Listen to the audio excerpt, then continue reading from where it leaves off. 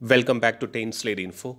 As part of the efforts to achieve self reliance in defense manufacturing and also to minimize imports of the defense public sector undertakings, the Indian government released a positive indigenization list, which is indeed a good initiative to boost the private and indigenous companies' contribution for the defense sectors.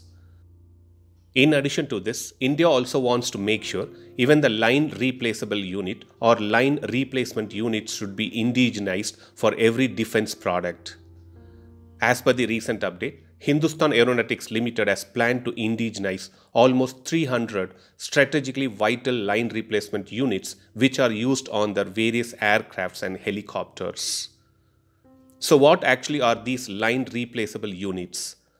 Line replaceable units or modular components or sealed units of an aircraft or helicopter which are designed to be replaced within a short period of time without any specialized tools.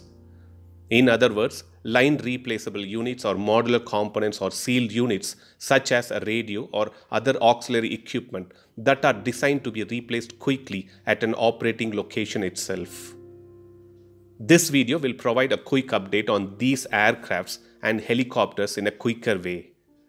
To begin with, the HAL's Kiran trainer aircraft will get two line replaceable units indigenously by end of December 2023. The Jaguar light ground attack aircrafts will get almost 9 line replaceable units indigenously by end of December 2023. The HTT-40 training aircrafts will get almost 6 line replaceable units indigenously by end of December 2025. Next in the list are the Dornier DO-228 short takeoff and landing utility aircraft which will get 45 line replaceable units indigenously by end of December 2025.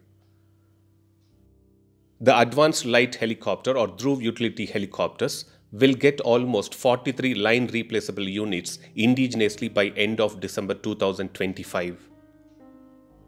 The light combat helicopters will get 44 line replaceable units indigenously by end of December 2025. The light utility helicopters will get 29 line replaceable units indigenously by end of December 2025. The Hawk jet-powered advanced trainer aircrafts will get almost two line replaceable units indigenously by end of December 2025. The Sukhoi Su-30 MK fighters of Indian Air Force, which is called the backbone of Indian Air Force, will get 6 line replaceable units indigenously by end of December 2025. Both Hindustan Aeronautics Limited's Chetak and Cheetah helicopters will get each one line replaceable units indigenously by end of December 2025. So that was a small and a quick video to provide an update on the number of line replaceable units for various HAL manufactured aircrafts and helicopters by 2025 tentatively. Thanks for watching. Stay tuned to 10SlideInfo for more defense and aviation related updates. Thank you.